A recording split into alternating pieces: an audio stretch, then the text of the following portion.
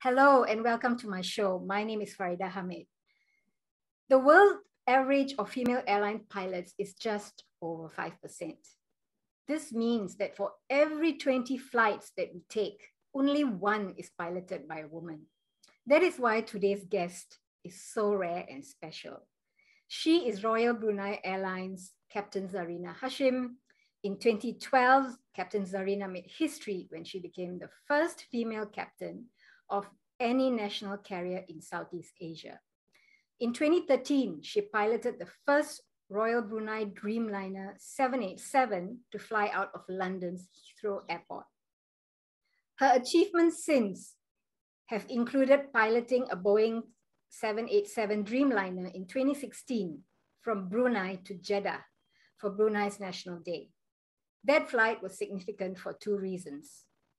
It had an all-female cockpit crew and landed in Saudi Arabia, a country where at that time, women were banned from driving a car. Czarena and I met in 2014 when we were both speakers at the Women's Executive Roundtable session organized by the Civil Service Institute of Brunei. We've stayed in touch and visited with each other a couple of times, and now we are finally doing this show together. Uh, welcome to the show, Czarena. Thank you. I'm so glad to be here finally. Yeah, we were supposed to record this show last week, but something happened. Do you want to share with our viewers what actually happened?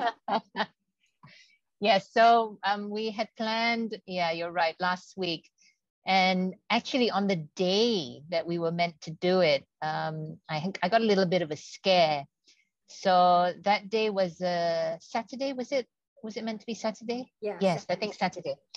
So the Tuesday before that, uh, Tuesday that week, I had done a flight to Hong Kong. And um, on Saturday, we had found out that one of the cabin crew, um, unfortunately, was a positive COVID case. So initially, when we were told that, we thought, okay, so who is this crew? Because if if this crew happened to be um, serving passengers in economy, then we would have been okay. You know, we thought, okay, that um, there was no there was no chance of close contact. And then, to cut a long story short, we found out no, this guy, um, this cabin crew was actually the one who was in the front, who actually served our meals and our drinks. So I was I, I panicked slightly. And uh, you know we, we knew immediately we were going to be issued quarantine orders and things like that and messages to go get swabbed. So that day wasn't a really good day to have this interview because i wasn't in the right frame of mind. Um, i did however go to get my swab and then um, less than 12 hours later you know alhamdulillah thankfully it was it was negative. So that's my first swab but now i'm in quarantine and um, i've got a second swab to do next friday so hopefully, you know, fingers crossed that goes well. Okay, fanta- fantastic. So, what is the current COVID situation in Brunei? Well, obviously, COVID hit towards the end of 2019. Was it? Yeah. God, it's, early, it's been so long. Um, well, early, early uh, March 2020, actually. Yes. yeah. Yeah. 20 end of 2019 was when um, I think it started in Wuhan or uh, which is why for COVID 19. And then um, I remember early last year, you know, we, we had already started taking precautions when we were flying and things like that. And we still hadn't had any cases in Brunei. So, March, you're right, March was the first time we actually had a positive case in Brunei. And that didn't escalate uh, greatly. We, we were very lucky. They managed to contain the spread and um, we actually went through about 458 days of no local cases wow. until earlier this month. Earlier this month, um, we had one positive case, and then through all the contact tracing, um, the numbers have just grown exponentially. You know, it's it's it's actually worrying.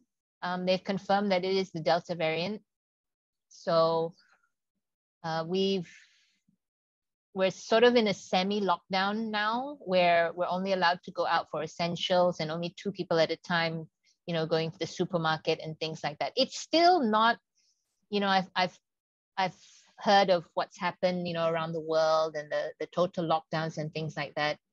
Uh, we're still not at that stage. Hopefully, won't be.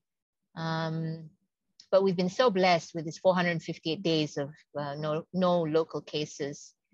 But I think personally, I think you know the world we're just gonna have to accept it. You know covid's not going to go away for anytime soon. You know everyone just needs to get vaccinated and um i think everyone's still trying to fly though you know oh my god yes we're missing it so much so much and you know even trying to plan holidays we we, we want to be realistic but we also so desperately miss it yeah yeah no you're you're absolutely right i mean even for me personally, even though I still fly, you know, thankfully for work, it's not the same. I can't go down to the terminal. I'm stuck in the airplane. Um, and even when I do go to Singapore for training, you know, we're, we're confined to our hotels and the and just the simulator. So we're not really able, we don't have that flexibility to, you know, go out, um, go shopping and I remember the first time after COVID started, uh, I think it was October last year, end of October last year, and I did my first trip to Singapore for training. Now that we were we were fairly lucky because you know things were under control and they let us just go out for essentials. And uh, the hotel where we were staying at is attached to this shopping mall, so I only went down there. I didn't I didn't venture out very far, and to be able, it, it was empty, uh, to be honest. And but just to be able to walk around the shops and window shopping, you know, and things like that, I just, I just missed it, and I still miss it now. Um, so I can't imagine how everyone else is feeling, where you really can't get on a plane to go anywhere, you know. I, I wonder if you could share with with uh, the viewers. I remember we were talking about it um, when, you know, I think a couple of months ago, maybe last year, when you actually did an evacuation flight for Malaysians and I'm not sure whether it's Malaysians and Bruneians, but you got them out of somewhere. I can't remember. Yes, yes, yes. It was Cairo. Cairo. I think it was. Yes. Was it March when yeah, when COVID started? Yeah. Yeah. When when when people when um countries started closing their borders, right? Yes, I remember that. So um we had closed our borders and our flights had been canceled and there was no flying. So I remember um, telling management that, you know, or oh, if there's any flights, you know, cargo flights or rescue flights or anything like that, um, I'm, I'm more than willing to help. So there was this Cairo flight, which I had heard about that they were planning on doing. And I thought, oh, you know, I put up my hand. It's like, let me go. I want to go. Uh, one, because I've never been to Cairo. and, and another, it was just at that time when COVID hit the world, you just felt like you need you wanted to be able to contribute, you know, in some way. And I didn't know how as a pilot, you know, what do I know? I just know how to fly a plane. So these rescue flights is all really we can do, right? So um, I remember putting up my hand for that, and thankfully I, I, I was given the flight, and it was to bring home uh, Bruneians and I also remember at the time, um, Brunei and Malaysia were talking.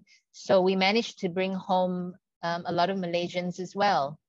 And uh, I think how it worked was they did a airplane to airplane transfer. So when we got to Brunei, all they did was they got off the plane and got on the um, Malaysian Airlines and flew back. Home. So was it a full flight? It was, yeah.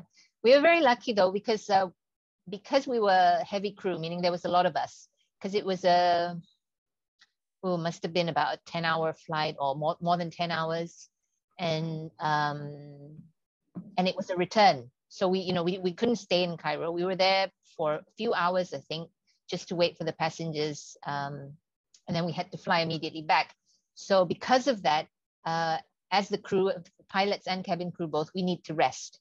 So um, we managed to close off the business class, and that was just used mainly for crew, just for us to rest. But economy was packed; it was full, full of um, Bruneians and Malaysians. Right. So tell me now that it's been about what almost well one and a half years, almost yeah. two years that we've all gone through this. Um, are you back to flying a bit more regularly and what is happening because i mean i know the whole travel industry is has been totally disrupted nobody yeah. is going to be nobody is able to tell us when we can even expect that it will have some level of normalcy so yeah. how how are you looking at your career and like um, you know where is your career moving? Or have you thought about what the future may hold for you as a pilot? Okay i'll start from the beginning. Actually initially i remember you know everyone was so concerned about oh you know what's going to happen to us? Are we going to still be flying? Are we going to lose our jobs? And you know this global pandemic has hit not just the aviation industry travel industry all sorts of industries you know basically it's affected everyone. Um, the aviation industry as you as you rightly said you know flights have been canceled at one point we were only 5% uh, operations so you know if you think of our number number of flights we were down to 5% of operations. That was that was just unheard of. We never thought that you know we'd ever see that um, so last year i was lucky to see a flight once a month um, they sort of they managed to give me a flight just to keep me current so current in terms of recent. So basically, as a pilot, in order to remain recent, I need to do three takeoffs and three landings within 90 days. So if I lapse that 90 days, then you know all sorts of things. I have to either fly with a training captain or I have to go into the simulator with training, things like that. This three in 90 days is very important um, for pilots to be able to fly. Um, so once a month I was I was lucky, and I think my first flight was July, I think last year. You know, after after March. So from March to July, yeah, I did the I did the um, Cairo rescue flight, and I did a few cargo flights to China. That was good. But the first commercial flight I did was I think it was in July. Anyway, since then, um, like I said, I've been doing flights once a month, and then earlier, no, it was actually the end of last year. I was offered this opportunity to take up a position in management. It was a temporary sort of opportunity. And initially, I was quite hesitant. Now, when I look back, the only reason I was hesitant was because I was very comfortable, you know, being at home, flying once a month. You know, who wouldn't like that, right? You know, and then Brunei was COVID free. So it was it was kind of leading a very semi-retired life. You know, I'm sorry to say, but that's just how it felt. So I was, um, I was very hesitant to accept the opportunity. But um, I had the support, obviously, from my husband, and I spoke to family about it.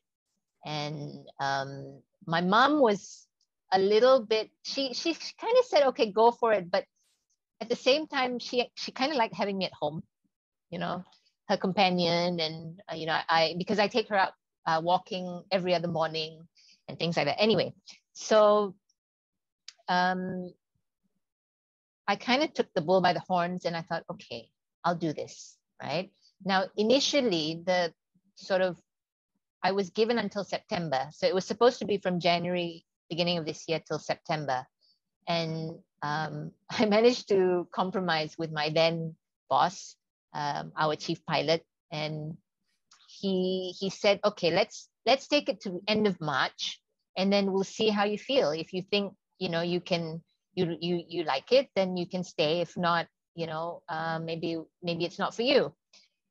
So I, I started 31st of December last year, and um, I was there for about four months in the office in a management position as the assistant chief pilot which is really the fleet manager. So basically, the manager who manages um, all the 787 pilots, basically, and just the day to day operations of um, the the operational side of flying, basically.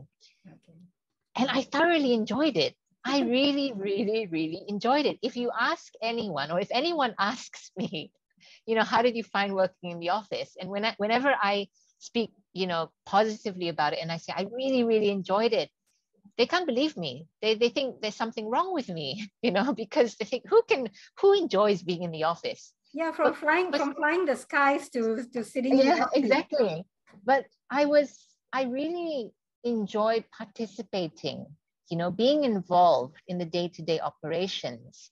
Um, you know, I basically to ensure that the pilots were um, you know following our sops and getting the notices out there informing the pilots that oh you know this this and this is happening in this country so we got we have to do this and this you know and just that participation daily participation i really really really enjoyed it so then um, the stint was cut short um, sad to say.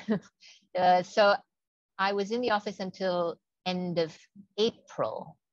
That was because there was you know some organizational changes and basically i wasn't really needed uh, anymore in the office. Um, although even even until today i still participate voluntarily. So if there's anything they need um, i'll i'll do the work for them but anyhow after sort of towards the end of april towards the end of my stint in management i was offered an opportunity in training in the training department so um, I applied basically to become a training captain. So uh, I'm now a, a, a, line captain. So I fly with first officers and, and I just do the normal like daily flights. Well, the, the normal commercial flights uh, or any flights really.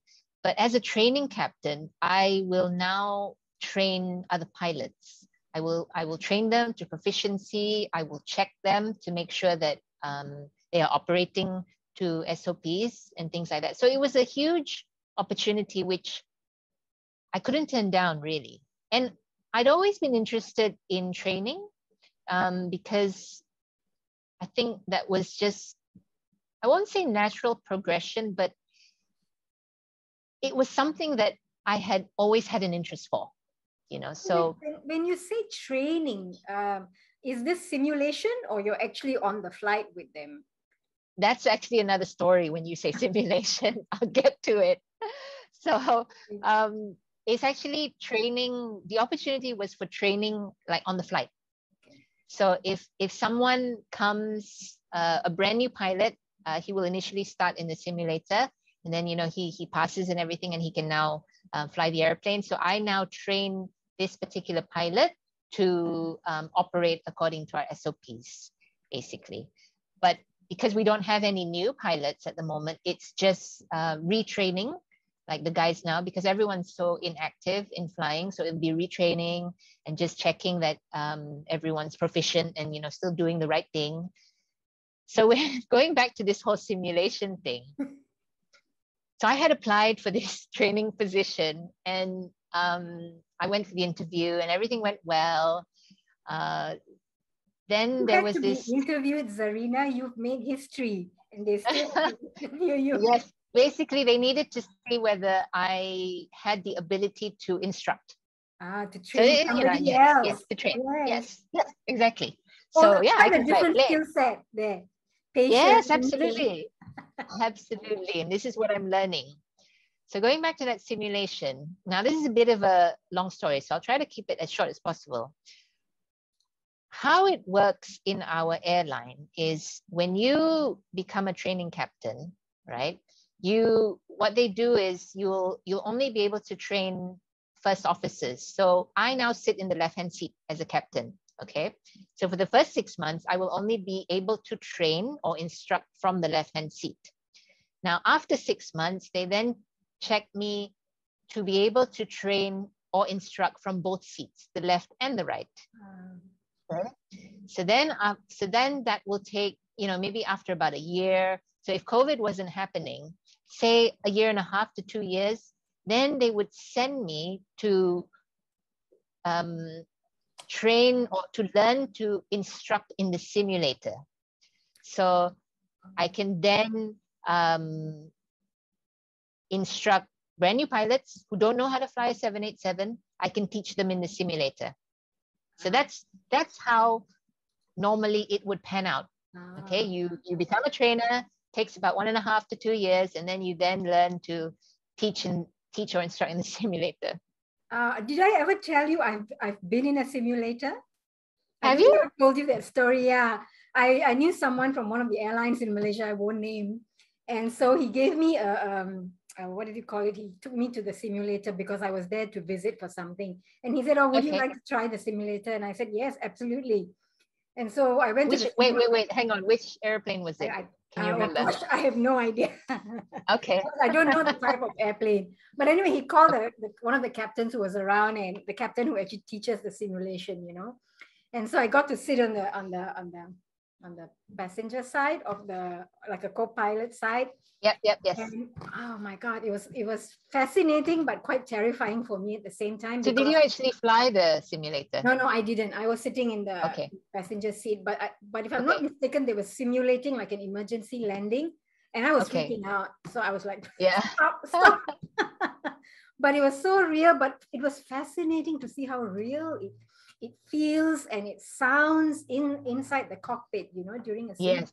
so yes that's absolutely. really fascinating. But where has been your first commercial flight um, since all this has happened? Uh, the first one was in july um, to melbourne. Uh, okay. i think yes it was melbourne. And i actually I actually posted about it um, on my instagram. And um, i was so happy to be back to flying uh, not just a cargo or a rescue flight. Um, so yeah, it was to Melbourne. And I remember being really nervous, really, really, really nervous because, you know, I hadn't, I wasn't regularly flying. Um, but amazingly, it, it's like the motor skills just kicked in, yeah. you know, and, yeah. and, and I, you know, I, I don't want to say it's like riding a bicycle because it's not. It's not like riding a bicycle, but um, it it comes back to you really fast, actually, really quickly. Um, so that was really good.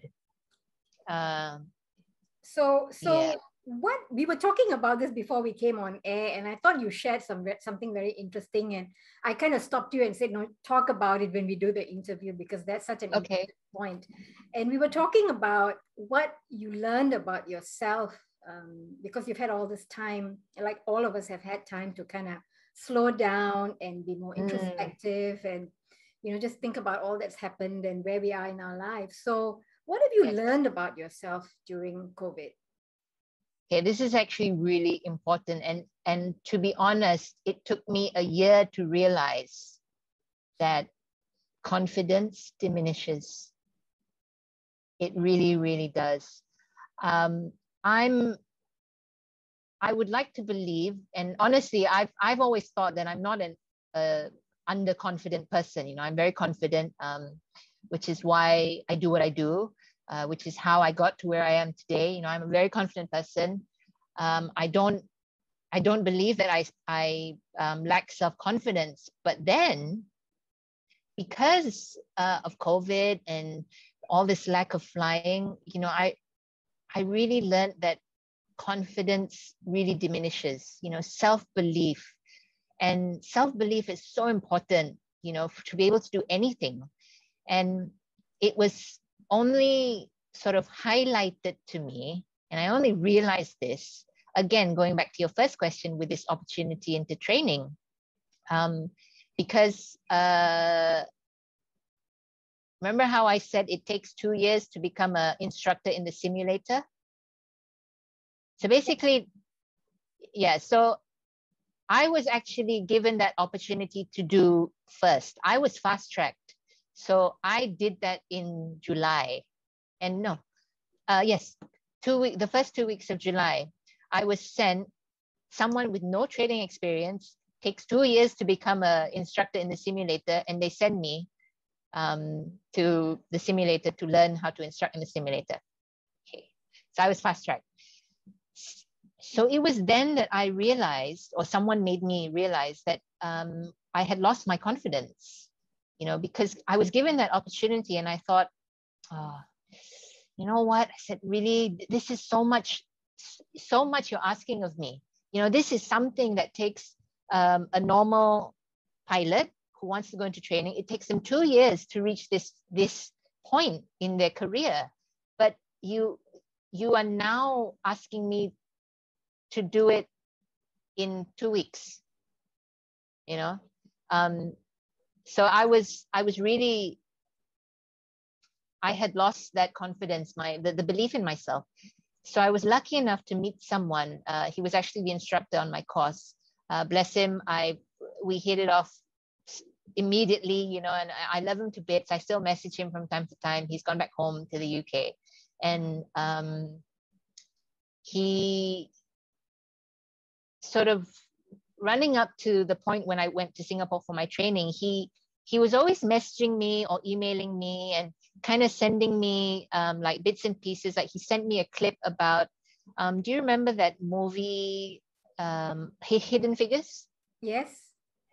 A great movie. So he sent me a clip about that.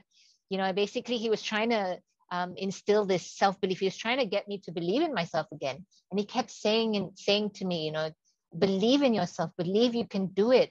You know you can do it. I know you can do it. You have to know you can do it. So it took me a year to realize and I, I have learned that confidence really really diminishes and it takes a lot to bring it back. It didn't take long because uh, I remember before I left Brunei, he said to me, he said, You'll get there. He said, your, your confidence will get back. And when you have it back, I will tell you and i think it was a few days with him in singapore. And just like that it was it was back. You know my my the belief in myself you know and he and at the end of the course he said it was it was um, it was amazing to see he said how i was so um underconfident when i arrived. You know i was I wasn't sure whether I would be able to do it. And, you know, two weeks with him, and then we got through the course. You know, I passed my assessment of competence. And he said to see the smile on your face, you know, he was, it was very satisfying for him as an instructor, you know, because he was the one who brought me through the course. Um, so on my journey into training now, this is what I'm looking forward to. You know, this is this is what I want. I want to be able to um, encourage people, inspire people, motivate people to instill this confidence because at the end of the day, I want to see that smile on their face. Yeah. You know, I think, I think that's a really important point because in the work that I do, which is a lot on leadership and communication, um, the number one challenge that I hear, and this is primarily from women, is the you know the imposter syndrome or the self doubt oh, yeah. that sometimes will pop up, and these are high achieving women in general, right? And I think it's so important that you're speaking about it because it, you know, we can be high achievers, but we are human too. And we yes. have, it's not like you're constantly having self-doubt. We have moments of self-doubt. And that's yeah. a very natural thing. I mean, we wouldn't be human if we didn't have those moments of self-doubt.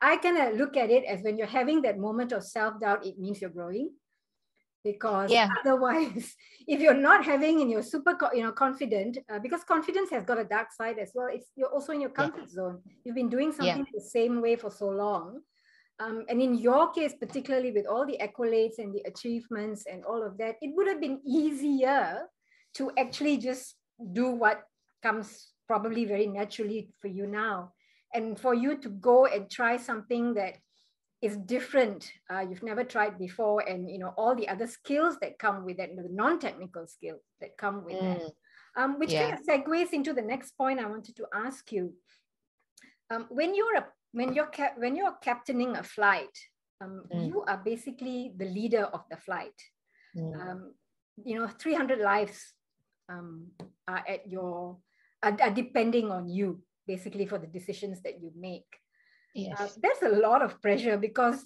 you know most of us are not you know uh, not having to deal with that kind of pressure where lives are in our hands unless you're a heart surgeon or a brain surgeon or any kind of a surgeon. So tell me what you have learned about leadership Czarena. Well just speaking about you know that heavy burden on the shoulder you know it, it it really really is. And to be honest if i were to dwell on it you know to think about the lives that are in my hands and things like that i i don't think I'd, I'd get off the ground to be honest you know but i need to believe in my ability uh, to be able to um, operate the airplane and transport these passengers safely from a to b so in terms of what i've learned um, about leadership or what leadership means to me. You know, it's about um, being able to lead my team, and my team would involve uh, my first officer or my co-pilot, uh, the the cabin crew involved, because we have a goal. You know, we have a, our goal is to get the passengers safely from A to B. So, um, as a leader, I want to, you know, inspire people, and I want them to it's, it's not about authority. It's not about authority at all. You know, I want everyone to work together towards this common goal. So it's not just the airplane or the, the flight itself, you know, our goal from A to B, but also in terms of the company's goal. You know, we've got as an airline.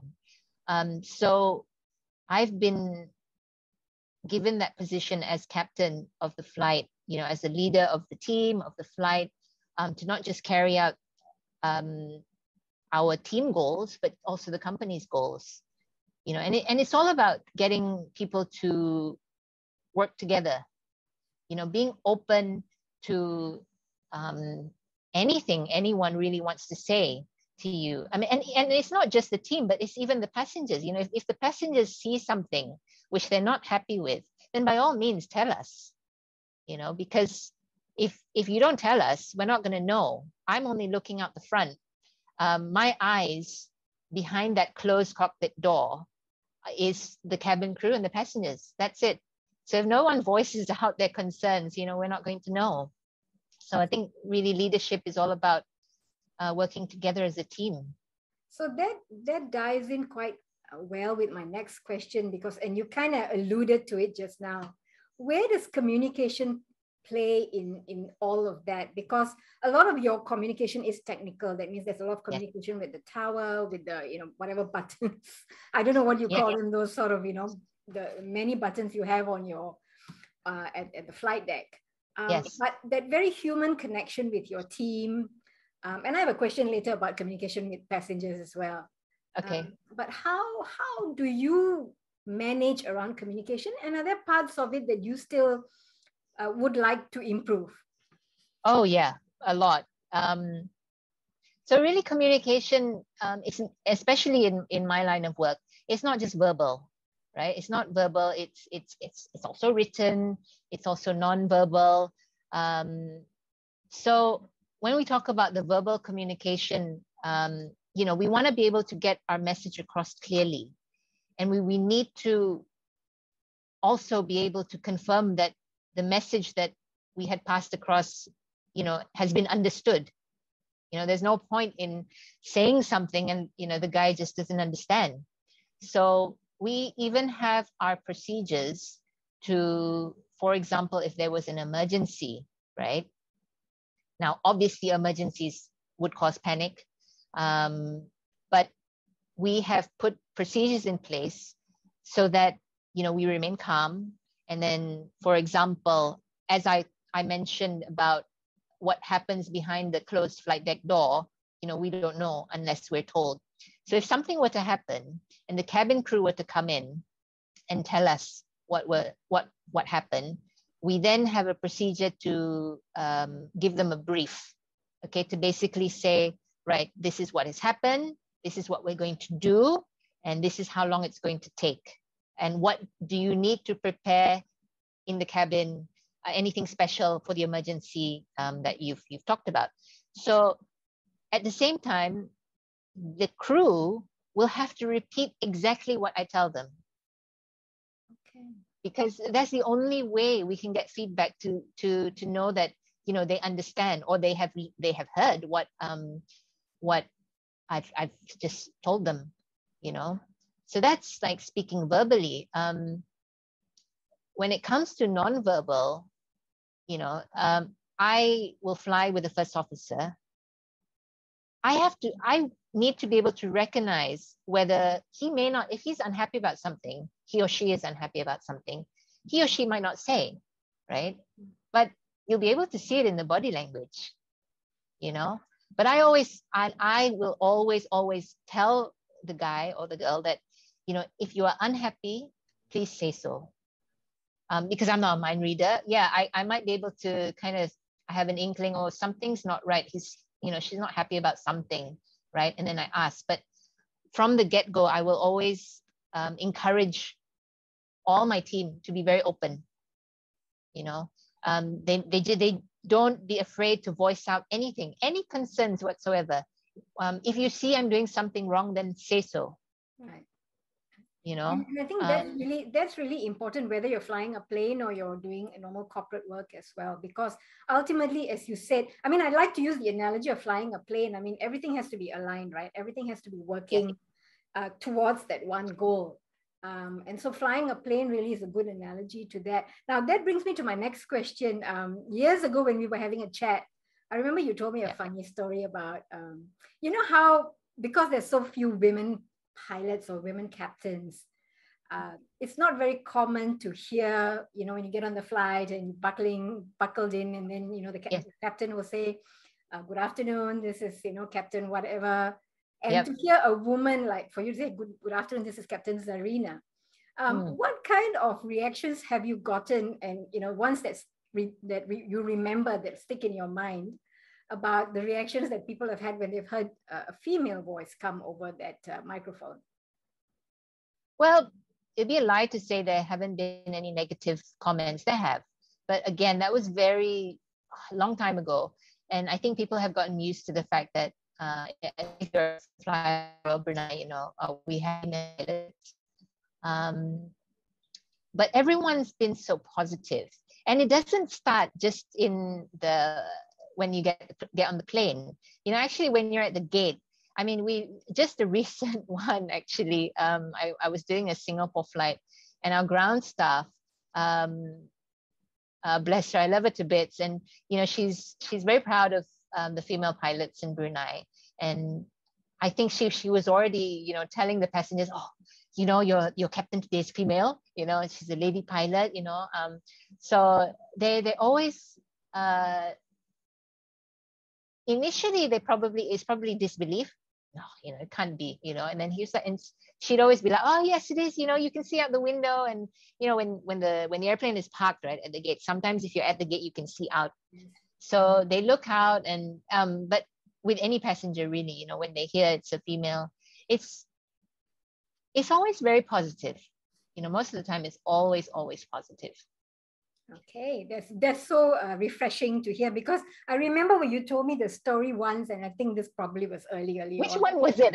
Um, this this was about some guy who uh, got up and said uh, he didn't want to, to be on a flight with a female um, pilot, and he was very unhappy about it. This was long early on. I mean, we met in 2014, so it must have happened. Yeah, yeah, yeah, yeah. You know, uh, either just before that or you yeah, maybe one or two years before. I do remember one, um, and it was a guy, and I mean, oh my God, when I think about it, it was actually after the flight, okay? And uh, he commented that uh, when he saw me, he was like, oh, it was a female pilot. No wonder it was turbulent. And I'm like, oh, are you, are you serious? Can you is he that even that a, to you? To you? He said that to me. He said that to me. Um, you know, he said it jokingly, obviously, but at the same time, you think, is that even an educated comment to make? Yeah. You yeah, know, yeah. does the pilot have anything to do with turbulence? You know, we we have no control about what what happens with the you know the air the air density and you know things like that we, we yeah. can't control it we can only make it try to make it as comfortable as possible for the passengers you know but but, but I mean, overall you've not really i mean now i think people are very used to it they probably celebrate the fact that they have a female captain piloting they do they do yeah it's um it's it's very it's really really lovely to see so Czarena, we're going to switch gears a little bit, uh, so people okay. get to know kind of you know behind the scenes Czarena. Okay. Um, what what do the first 60 minutes of your day normally look like? Like what what do you have habits or rituals that you have been practicing for a long time? Um to be honest the start of my day is not very interesting but uh, i'll talk about it actually changes a lot. You know i'll go through these routines uh, but my current routine but the one thing that hasn't changed uh, for a long while now is uh, obviously morning prayers right? The subuh prayers that will take up about 20 minutes. So that that doesn't change. But what happens after that? I've noticed um, it changes. You know, I used to be someone who needed to have coffee first thing in the morning. But to be honest, now I haven't had coffee for over a week, you know. yeah. Um, so I'll talk about my routine now, okay, especially, you know, during this COVID time and um, quarantine time. So earlier this year, uh, we we had maids in, in the house because I live in quite a big household uh, with my brother's family, with my mother. So, and it's, it's quite a big household and we're, we're quite, um, we have our own space as well. So I'm, I'm, you know, if, if I were to quarantine by myself, I'm self-sufficient actually. It's like a little, little apartment kind of thing. So we had maids and uh, earlier this year they went home. They didn't want to stay. Uh, they, they, they've been with us for many, many years. So the maids went home and uh, because of COVID, it was really difficult to get the maid, uh, get new maids to come back or to to come to the country. So anyway, so now my morning, um, so 20 minutes will be subuh prayers, and then I'll get up and uh, make my bed because making the bed is so important. First thing in the morning, you've got to do it because as soon as you get that task done, it's like the start of a productive day. Yes. You know, that has never changed prayers and making my bed. Um, so I have to make my bed and then I'll go down and basically set up the household for the day. You know, switch off the lights, um, do the laundry and things like that. Uh, so that that takes up a good 60 minutes. Probably 10 minutes out of that I'll I'll have to myself to just maybe, you know, go on uh, social media or just 10 minutes to myself. So that's your like your self is that like your self-care or do you have also like a self-care routine that you do like on weekends or days that you have off? Oh yeah um self-care in terms of exercise definitely.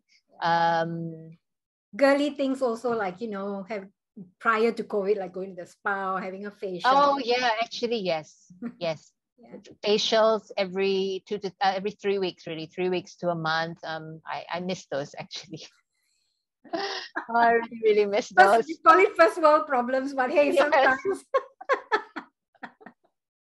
we have to be honest about the things that we miss. Yes, absolutely. Yeah. So, um, you know, uh, this this is a question that I like to ask uh, uh, people that come on the show uh, because I, I read it in in the Tim Ferriss. Tim Ferriss, uh, I don't know whether you're familiar with him. He's this famous uh, four hour work week. He wrote this book uh, that was okay. And he asked this question of a lot of his guests, so I'm going to ask you this as well. If okay. you could put a billboard up anywhere, what would it say and why?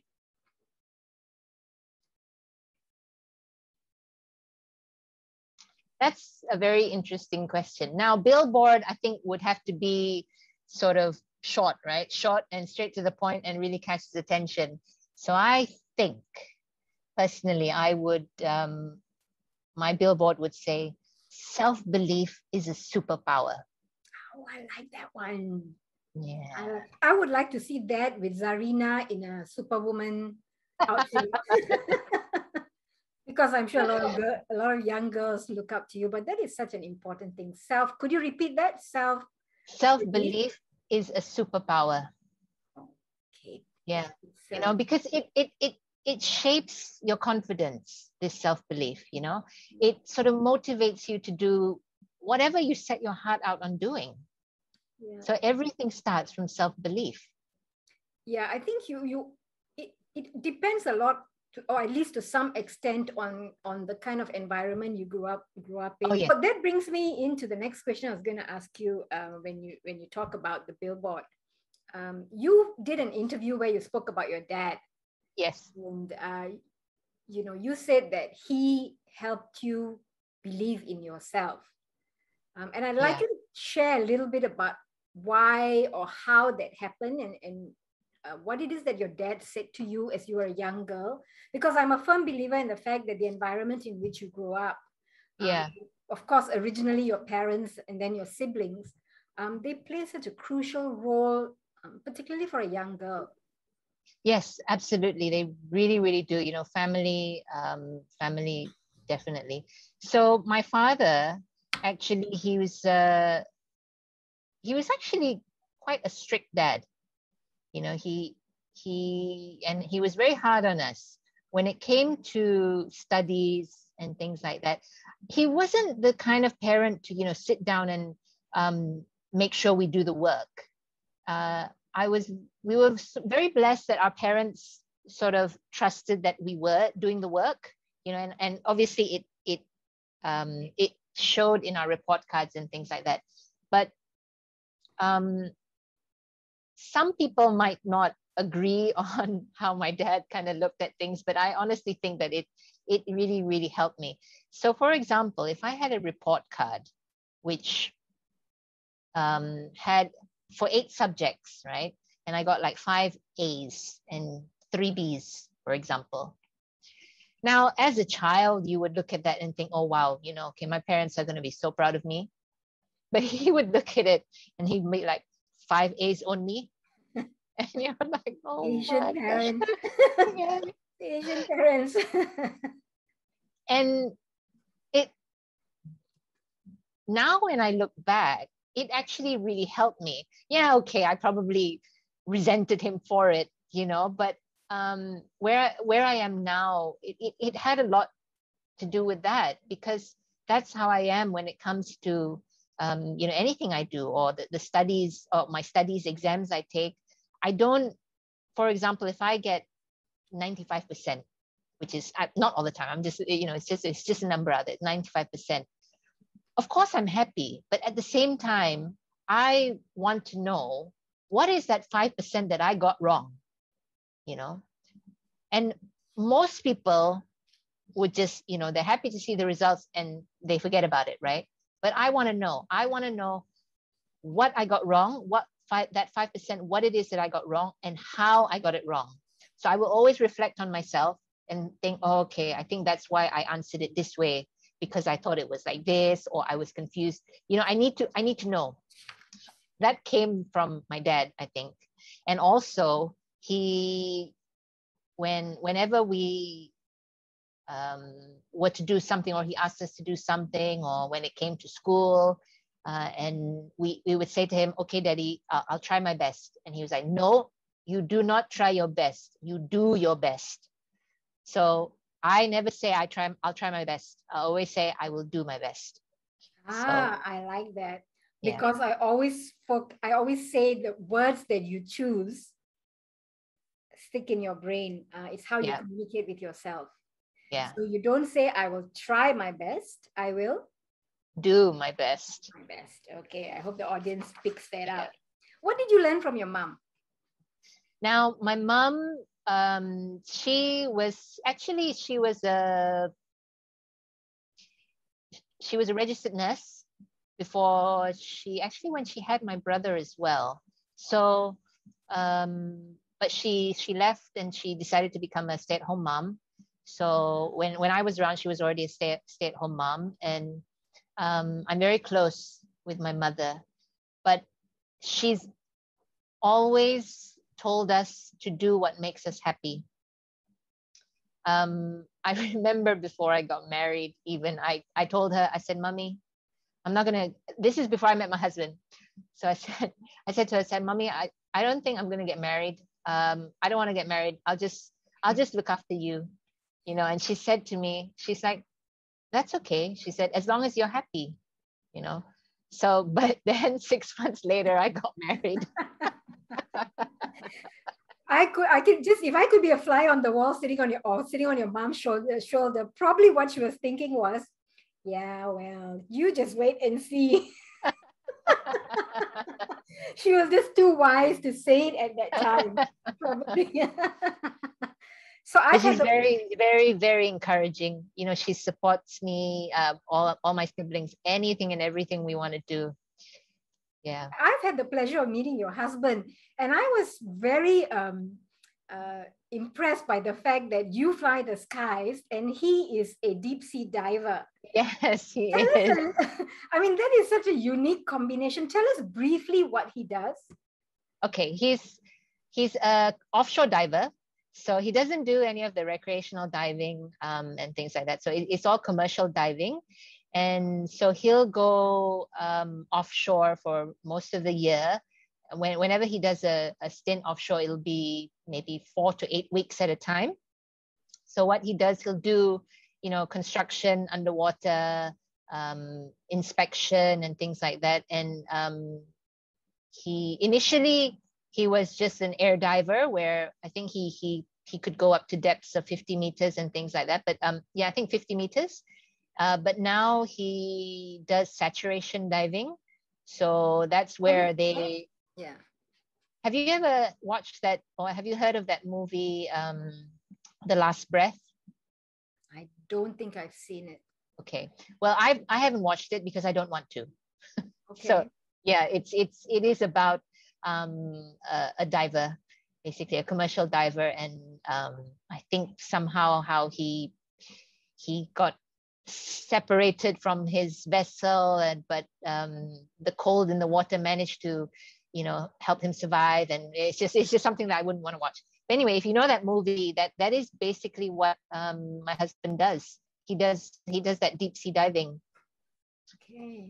Yeah so, so it's a, sorry? sorry sorry. Go ahead. I didn't mean to interrupt. No no no. Um it's so so sometimes what he does is if he'll go in a chamber and they'll pressurize him to depths of maybe 100 meters. And so if I talk to him on Skype, um, it'll be like talking to Donald Duck because they they breathe on helium and oxygen. So he's he's like in this chamber, living in a chamber for 28 days, breathing on helium and oxygen, what they call heliox. Wow. Um, yeah, so he's he lives um, you know at that 100 meter depth pressure for 28 days at a time. Wow, that is amazing. I mean, I have a fear of heights and I have a fear of depth. And so that brings me to my next question. That's a very nice uh, um, lead into my next question. What, what do you still fear? You know, to be honest, I am afraid of heights. really? I don't have ever seen any interview where you said that. Pray tell. Um, because no one's ever asked me this question. Uh, so I think it came with age more than anything. Because um, when I was younger, you know, when you're younger, you you kind of live like you have nothing to lose, and you know you're you live life to the fullest and things like that. But as you grow older, you've got so much more that you can lose. You know, you have your obligations, you have people that depend on you. So because of that, um, I think uh, that made me sort of fear not so much heights, but any situation which would endanger me, you know? So this whole height thing, I think, came with age. And, you know, even if I see something um, like a video or um, pictures where, you know, someone's standing on, you see, even now talking about it, like my, my legs kind of feel a little bit like jelly. Um, but surprisingly, when I'm in the airplane, looking down, not so much. I think because you know I'm I'm there kind of in. Uh, I know how to I know how to control the airplane. Yeah. Right. So it's so every time now you know when it comes to anything to do with heights, yeah, it just I, I feel weak weak in the knees. And that is um, so that is so interesting because I, for me, you know, when I see those YouTube videos of people, you know, they're walking on that on that glass kind of oh my god you, you, you see even now i can i can feel my my legs. I'm like i will watch it for a bit and then i'm like i gotta get off it because i start having palpitations okay. you know? And like you when i was young because i studied in the us and i used to fly all the time and i never turbulence never bothered me or mm. anything. Mm. now i'm a little bit more every time there's turbulence i get a little bit nervous um, as well so probably you've got you probably right about saying that it's got something to do with age because of I suppose you know more commitments, more responsibility. Yeah, yeah. Um, but then actually, just to touch a bit more on that, so when I said things which you know which endanger me, so really the so the whole thing about heights and what you mentioned turbulence, I think my greatest fear is not being in control because honestly if i'm in, in a in a plane as a passenger and there's turbulence, I'm not a very happy bunny. Really? but in the front, in the front, I'm okay because I'm in control of the airplane, you know. So I honestly think it's not being in control. So that brings me again to my next question. When you're a passenger, what seat do you what norm what seat do you normally book? Okay. So it depends on the flight itself. Now, normally if it's a short flight, so if I were to fly to KL to Singapore, because that's only, you know, two hours away, um, I, I like to take the window seat. Uh, if I'm traveling alone, if I'm with my husband, I will also take the window seat. And that doesn't, it doesn't matter where I'm flying to. Um, if I'm with my husband, then I'll take the window seat. But if I'm on my own on short sectors, I'll fly the, uh, on the, uh, I'll sit in the window seat. But if it's a long flight, I prefer to be at the aisle because then it's easier for me to get in and out if I needed to use the toilet or. Have, have you ever been on a flight where there's been some kind of emergency and they've and they've said, is there a pilot on the flight? No, no, I haven't. Movies. you see in movies sometimes. No. Yeah, so, no, no. Has, has, there been any emergencies that you've ever had to deal with? Um, yeah, I mean, I know you've not had any terrorist type of emergencies, yep. but you know, any other kind of emergencies um, that you, you know, that you had to deal with? Yeah, well, I've been, I've been very blessed in terms of um, having to deal with emergencies. Not many, and there have been none which have been technical related. You know, anything related to the airplane, which which made it, you know, unsafe. You know, I've been very, very, very blessed with that um, and I've not had to divert anyway. So basically, if I if I set out on a day to fly to point B, Alhamdulillah, so far I've always gotten there. I've never ended up anywhere else. Let's, you know, okay, so I've been blessed in that way. Um, but I have had a couple of medical emergencies on board but we've been, you know, we've had such a great team of cabin crew and we've had doctors on board. Um, so we've managed to deal with it in flight. But one of the ones which I can remember is uh, I had a death on board. So one of my passengers actually passed away. And we were flying from Jeddah to Brunei. And halfway, we were probably over India. And um, the cabin crew said, Oh, you know, we have a passenger in the back. They're giving him CPR. And we have our procedures. So we actually contact, um, basically, we, we contact doctors uh, in, in the air and they tell us we have a procedure where um, they will then tell us uh, what to do. And that flight, we actually didn't have a doctor on board.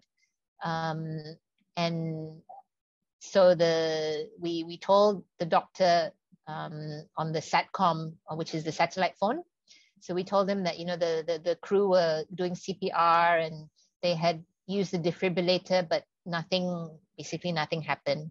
So he then works out that, oh, you know, you've got another five hours to go to your destination. So he actually said to us that, um, you know, you can tell your crew to to stop the CPR. Basically, he's, you know, the, the passenger's already gone. Um, yeah, and and I was a bit shocked because I didn't think, you know, we could we should stop the CPR, but then his advice was, you know, you've got five hours left. There is there is no point if you've been doing CPR for the past one hour, and you know there's there's not nothing's happening. So, uh, so yeah, that was um, the the rest of the flight uh, was a non-event. You know, they they managed to put the uh, passenger who had passed away um, they sort of covered him up and he was in the back um, back row. And um, i remember coming arriving into brunei on stand and we had the uh, medical personnel meet us. You know they were uh, the, the, ambulance came and then we had our um, rba staff as well and all the passengers left and then they got this um, uh, passenger who had passed away off the airplane and um, one of our managers, she came to me and uh, she gave me a big hug. You know, she said, you know, are you okay? And she gave me a big hug. And it was actually just then that I realized, you know, uh, basically emotions just started, it, it, you know, I, I started to tear up at the time, just when she hugged me, you know, because at the time uh, in flight, um, I had no time to, you know, have any have any emotions or feel sad about it. Yeah, I I felt like, oh, you know, I'm I'm so sorry for his family and things like that. But to think that it had happened on my flight, you know. Uh, so yeah, it, it's funny how um, these emotions kind of come about when you have time to yourself, and especially if you get yes when you decompress, yeah. and especially when you have support from someone else, and just. Mm. Who's been your favorite? Who's been your favorite passenger? Because I know you've posted some stuff on Instagram about some little kids. Um, oh yeah, yeah. Wondering yeah. whether you know, I'm, I'm sure you get lots of kids come up to you. Have you had one that is sort of been the story has been so fascinating or, or so interesting about that one particular passenger? Well, to be honest, um, there hasn't really been one. I mean, one which is memorable was um, this one little girl who her name was Zarina as well, but it was spelled uh, with a T and an S. And I think I posted this on my Instagram. Uh, her letter, she wrote to me. She said her name is Zarina too, but spelled differently. And um, very young girl. So her father, I think, wrote the wrote the letter, and um, it was so lovely to get this message from. You know, it wasn't even my flight. I think. You know, she. I think she had just sort of heard about me, and um, you know so she wrote she wrote this this little message to me and um, I really, really appreciate these little things. You know, I, have I've, gotten a few messages, not many, um, but I really, really enjoy having the children uh, come up to the flight deck. So when we get on the ground, we do encourage, you know, if, if, if there's anyone who wants to come visit, then we do it on the ground. Obviously, we can't do it in flight. So they'll come up to the flight deck and um, you know they'll ask questions. There was one actually quite funny. I did a little uh, a talk in one of our international schools in brunei. So i was i was i was uh, talking to the children and um, i believe some of their parents were present. So i told them you know the next time you get on a plane and if you hear that it's me please come up to the front and you know we'll i'll, I'll show you around my office. I'll show you around the flight deck and months later, they actually did. So this one family came, or was it a couple of families? So with their parents, and it wasn't the children who were asking the questions; it was the parents. that that is the funny funny twist on your yeah. story because yeah. I think there's all of us, a lot of us would like to go into the cockpit, but now because I think after 9-11, we're not allowed to during yeah. a flight anymore, right? Yeah. Um, and so and even yeah. I think even now with COVID, um, it's it's yeah. not going to be very possible. It's going to be really hard to do. Yes. So a lot of young girls probably would be, uh, at least I hope, will listen to this interview, and um, I'd like to know what, firstly, what kind of uh, classes should they be taking if they have a dream of becoming a pilot? Like what subjects should they focus on or excel in to become a pilot? And um, what advice, what other advice would you give them? Okay, well, in terms of education, um, I think the early years, so uh, you know, basic education obviously is very important. So you know your your uh, language skills, so English, because English is is the aviation language, right? So English, uh, definitely maths, um, geography uh, just so you you know about you know our our world and how uh, things things work in terms of like meteorology and and you learn that in geography anyway. So that's the like the the basic side of education.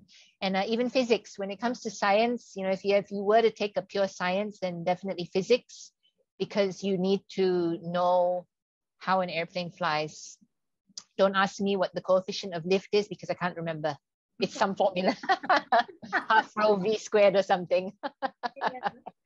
Um, so yes so i would say focus definitely english maths geography mm, it's kind of 50 50 it's good to know but definitely english maths and if you were to concentrate on a pure science physics. Ah, okay. Yeah. So so if you had not become a pilot thinking back to your you know younger days if mm. i mean was was becoming a pilot like your your dream or did you have another dream when you were, you know, you know how when you're in school they ask you what do you want oh, yeah. to be yes, when you grow yeah. up. So I mine was I wanted to be an archaeologist. I wanted to wow. go to Egypt. Yeah, I wanted to go to Egypt and uh, go to the pyramids. I've never been to Egypt yet. I haven't. That's on my list. I've never flown to uh, Egypt. I'd love to go and see the pyramids. But when I look back now, I think even though I never got to do that, um, the the connecting link really is that I'm a storyteller because you know oh, yes, yes, as a yes, journalist yes, and, and to me I to this day I will watch documentaries about you know the pyramids and the Mm. kings of old and all the stories about you Yep. know how they how they ruled and so there is that link so I'm kind of curious what did you want to be when you were a kid Okay, as a child, when I, to be honest, I think it was first and foremost a pilot. That was the first time that I actually had an ambition. You know, when when I actually thought of an ambition, it was pilot. But growing up, that kind of it was like just a dream. You know, I, I never really thought that I could become a pilot. So I was very growing up and going through school and things like that. It, I was I didn't know what it was that I wanted to be. I did know one thing. I I remember telling my dad about this. Uh, I wanted to be a somebody, not anybody, a somebody. You know, someone to make a difference, and um, and I actually even looked into accounting. I wanted to, but not just any accountant. I wanted to be a chartered accountant so it was it was that the ambition really was to become a somebody. If it was anything you know if it was going to be a doctor i probably would have been like a surgeon. You know i, I would have i would have made sure that whatever career i had chosen i would become a somebody in that career. So Czarena what's next for you? Well at the moment um, as i mentioned earlier uh, i've i ventured into training so my flights actually have increased because of my training. Uh, so and I'm I think I'm going to be pretty busy from now on. You know, once I get out of quarantine already, I think uh, I was I was talking to the office and how they've already uh, discussed about what my flying is going to be like. Because before this, before the quarantine um, order, I was flying twice a week, and that's actually a lot. wow. Yeah, I was doing all the 787 flights, uh, which was we the 787 flies, I believe. Oh no, well, not the not all, um, but the the short haul flights, the Singapore flights. I was doing that that every week, uh, twice a week. So uh, I'm pretty busy nowadays. So that's so I think the future is uh, definitely into training. Uh, once my training is over, I then will be training others and checking others. I'm looking forward to it actually. So before I go into our rapid fire round, which I'm, it's Yeah. got a bit of fun. I got some fun questions for you. Um, can you tell us who are all dying to travel whether you have any inside information about when likely or what is the aviation industry talking about where we may be able to fly with our digital certificates? Do you have any inside information that you can share with us? honestly i don't um because it's just there's, there's so much involved you know? Um i'll talk about something recent. Before uh, covid our second wave hit brunei we had a very good travel lane with singapore. Very very good travel lane in singapore. So what i used to do was i used to fly to singapore get swabbed on arrival and then um, I think four or five hours later, when the when the results came out, I was free to leave the hotel. But then, obviously, because of our government restrictions and all that, you know, we weren't allowed to leave our hotel. But um, any normal person allowing uh, being allowed to travel for essential travel was, yeah, as soon as they got a negative result, they were they were free to holiday in Singapore. You know, if, if they were allowed to travel. And then coming back to Brunei, um, we if within 72 hours you take a swab before you leave uh, if it's negative, then you know you're free to go home. And when we go home uh, in Brunei, we were only in quarantine for two days. We take a swab. Uh, It was um, it was negative, and then we're free to go home. So it was really easy. But now they've stopped that because of the second wave, and I think uh, Singapore is looking at you know uh, their different channels. So they've started, or they're going to start in September, and I think a lot of countries are going to follow suit. They call it a vac- vaccination travel lane. Yes, yes. Yeah. So um, that's for Singapore is starting in September, and that's good for us. So I, I'm I'm pretty sure a lot of other um, countries are going to follow suit. So all it is, if you're fully vaccinated, you have that certificate. Yeah. All you need to do is present a negative swab result before travel, have another swab result when you arrive at your destination, and then you can go about your business. Mm. And then, um, depending on the country you go to, they might ask you to swab, you know, a second and or third time, just Yeah. as a precaution. Yeah. So, honestly, the direction we're going in terms of travel, yes, it will happen. I don't know when. Uh, PPE masks, I think, is going to be with us for life. Um, and you know, swabbing. Well, if you want to travel, you're just going to have to get used to it. I think that's just going to be the way it is, at least for the foreseeable future. If Yeah. uh, get back. So, okay, so I'm going to do the rapid fire round with you now. Okay. So, are you ready? Just Yes. A couple of questions. So Sure. now you you have to answer your gut instinct. Okay, no thinking, no Okay. thinking to this. Okay. Yeah, I, I've actually done um, done a couple of these Couple of these, before, and they're fun. Yeah. Hopefully, I've got some different questions than what you've been asked before. Okay. Okay, first one: Bollywood or Hollywood? Hollywood, Netflix or HBO? Netflix, Book or movie? movie. What's the latest movie you saw?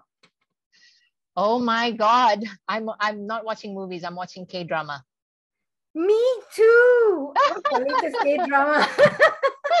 the one I'm watching now is called Kingmaker. Oh, I haven't seen that one. I just saw. The, I just finished the one called Black, which is very good on Netflix. You should watch that. Okay, I'm uh, the the last one I watched on Netflix was um, Man Man to Man, I think. It's a Yeah, Korean Man. Yes, Korean. Oh, I haven't seen that one. Okay. Yep. Sunlight or moonlight? Sunlight. Okay, me too. Sunlight. Passenger or driver?